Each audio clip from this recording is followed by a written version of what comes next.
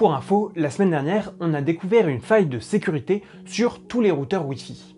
Et quand je dis tous, c'est vraiment tous les routeurs testés en service aujourd'hui.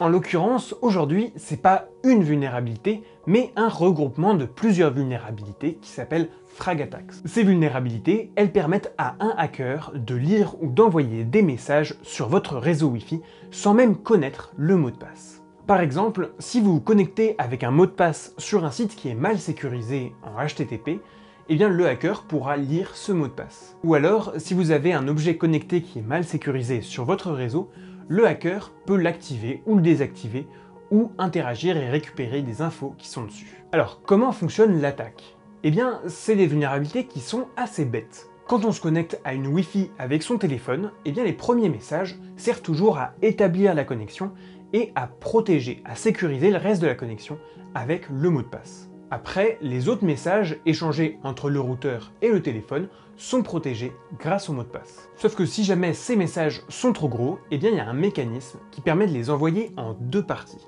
Et là, on peut faire un message en deux parties, avec la première partie qui ressemble à une création de connexion, et la deuxième partie qui ressemble à un message normal. Et la vulnérabilité, c'est que le routeur Wi-Fi va accepter ce message comme un message valide, même s'il n'est pas sécurisé avec le mot de passe. Parce que la première partie, c'est normal qu'elle soit pas sécurisée, vu qu'on établit une connexion. Et la deuxième partie va être considérée comme un message normal, et va être injecté parmi tous les messages légitimes, un peu au hasard. Alors ça semble très très grave, mais laissez-moi vous rassurer un petit peu. Les vulnérabilités, il y en a tout le temps. Et souvent, les vulnérabilités sur le Wi-Fi ont l'air terribles parce que ça concerne tout le monde.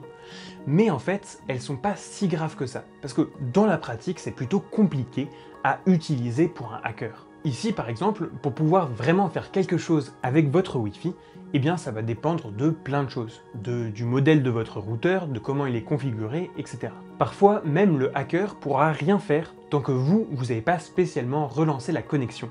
Donc tout ça, ça fait que dans la vraie vie, eh bien c'est peu probable que ce soit utilisé par des hackers. Dans tous les cas, des protections arrivent dans les prochaines mises à jour, et je vous rappelle que pour être bien protégé, il faut toujours bien faire ces mises à jour et rester sur les sites en HTTPS.